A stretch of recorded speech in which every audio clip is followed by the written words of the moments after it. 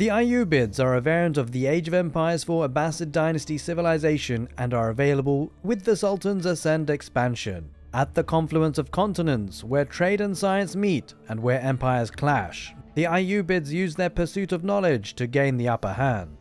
The House of Wisdom is the focal point of this combination of urbanization and science, unlocking powerful Golden Age bonuses and advancing through the ages. The Ayyubids focus on versatile units to gain a tactical advantage on the battlefield. The Ayyubids possess powerful camel cavalry that lay waste to enemy armies, while their imposing siege weapons flatten defenses. With the calculated use of unique abilities, the Ayyubids can dismantle their opponent's strategies and tear into their forces. The House of Wisdom for the Ayyubids select between two powerful bonuses at each wing when advancing to the next age. The remaining wings will then increase their bonuses for the next age selection, offering endless strategic possibilities. Some present immediate value, while others bring long-term investment opportunities. The major strength of the Ayyubids is the ability to adapt their House of Wisdom to fit their needs. The Ayyubids feature a unit roster brimming with tricky abilities. Early on, the Desert Raider causes confusion in the enemy ranks with its mastery of both melee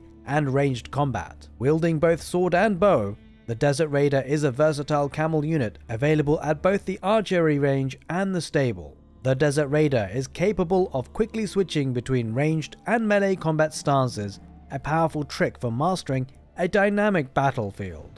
With the infantry support technology, their camels gained increased durability when supported by nearby infantry. Later, their unique mangonel, the Manjaniq, can switch to a fire projectile mode, dealing devastating damage to buildings and units in a large area. The Tower of the Sultan fires arrows while ramming down buildings, costing immense amount of resources to produce. This lumbering siege weapon demolishes enemy cities and is extremely difficult to take down. The Camel Lancer has a tactical charge which deals more damage the further it travels before impact, charging more frequently and from further away than the Lancer it replaces. With the House of Wisdom, choose between growth and industry at the economic wing. Selecting growth will provide a group of villagers, while industry provides a shipment of wood. Choose between reinforcements and master smiths at the military wing. Reinforcements will regularly produce desert raiders at the House of Wisdom, while selecting Master Smiths will instantly research blacksmith technologies. Choose between advancement and logistics at the Culture Wing.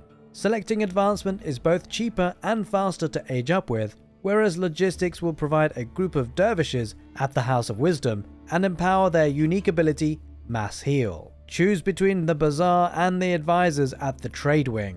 Selecting the Bazaar will unlock the ability to hire units and purchase resources from neutral merchants that arrive at the House of Wisdom. Choosing advisors will produce a group of Atabeg advisors which can garrison in any military production building to improve the units trained there. I hope you enjoy this preview of the Ayyubids coming to Age of Empires 4 with the Sultan's Ascend expansion.